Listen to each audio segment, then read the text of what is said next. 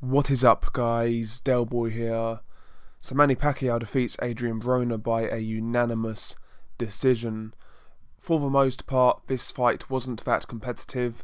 Manny Pacquiao was always several steps ahead, and arguably, you could have scored him all 12 rounds. It was that type of fight. Manny Pacquiao was the aggressor from the opening round, where Adrien Broner was trying to sit back and look for counters. Again, Adrien Broner falling back into his old habits, looking for that perfect shot. That perfect shot never really comes.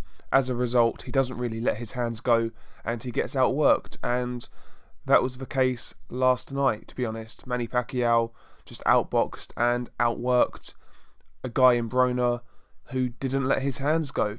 Manny Pacquiao had far too much quality for Adrien Broner and Broner never really looked comfortable in there. He never really looked like he was, you know, following any type of game plan. He was. It looked like he was just trying to land that one big shot, to be honest, like Marquez. But you know, Broner's no Marquez, and uh, yeah, he got outboxed, he got outworked, and Manny Pacquiao pretty much won every round.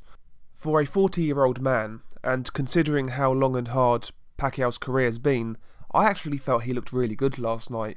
You know, he still looked quick. He still looked like he was carrying power. He hurt Broner a couple of times. And he looked good for this stage of his career. Is he past his best? Yes. Is he a shadow of his former self? Yes. But that shadow is still pretty good. Even this version of Pacquiao, I still can't see any welterweight just walking through him like he's nothing and having no trouble at all with him. I still think he gives everybody in the division problems. There are a couple of fighters I would pick over him, but I still believe he gives everybody problems. But yeah, in this fight, Manny Pacquiao looked good.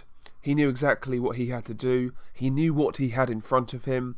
He knew exactly what to do to give Adrien Broner problems. I mean, you know, the in and out movement for a start. A guy like Broner, flat footed, he's always going to struggle with that type of fighter. Also, the feinting of Manny Pacquiao in this fight was a big factor.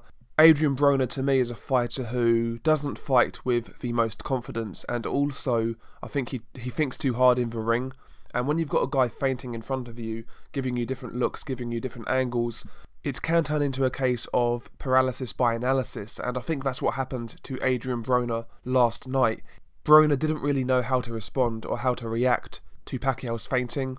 This in turn affected his confidence, he couldn't get a rhythm down, and that was why he wasn't throwing punches. Broner isn't a confident fighter, he's a guy who thinks far too much in the ring. And I know some people out there will say you can never think too much, but you, you definitely can.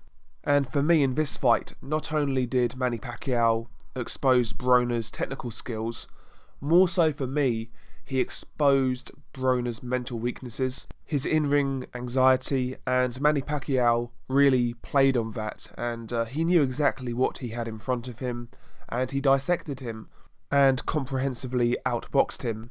Pacquiao in this fight was throwing a really good jab um, from that right hand. It was almost like a power shot, rocking the head back of Adrien Broner, forcing Broner back, really getting Broner's respect. Also in this fight, I felt Manny Pacquiao did a good job of using the technique of shifting.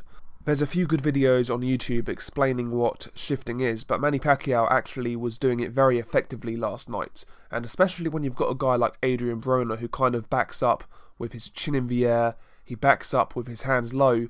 In that case, when you're letting your hands go as you're coming forwards, there's a high chance these punches are going to land against a guy who's backing up with his hands down. But uh, yeah, Manny Pacquiao won this fight clearly. I could go on in regards to the fight itself, the technical aspects, but what else is there to say? This fight played out exactly as I thought it would, to be quite honest. And uh, yeah, Pacquiao retains his WBA welterweight title. Where does Manny Pacquiao go next? I mean, a lot of people are talking about Manny Pacquiao versus Floyd Mayweather 2. Would I watch it? Probably. And if Manny Pacquiao can get that fight, that is certainly the fight he needs to go for, in my opinion. At 40 years old, Manny Pacquiao doesn't have anything to prove, but if he decided to fight one of the younger champions like Errol Spence or Shawn Porter, Keith Thurman, that would also be tremendous. So, yeah, regardless of where Manny Pacquiao goes, I've not really got any expectations. I just want to enjoy this guy while he is still fighting because he doesn't really have long left. So, I'm just going to enjoy what we have left. As for Adrien Broner, I mean, what can you say? Another big opportunity, and he doesn't show up. Who should Broner fight next? I think in an ideal world he needs to go back down to 140, but I don't think that will happen.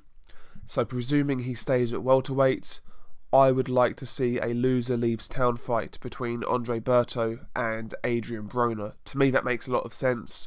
The loser of that fight would have no way back, and that would make for an exciting fight in my opinion. But share your thoughts below. How did you see last night's fight? Peace.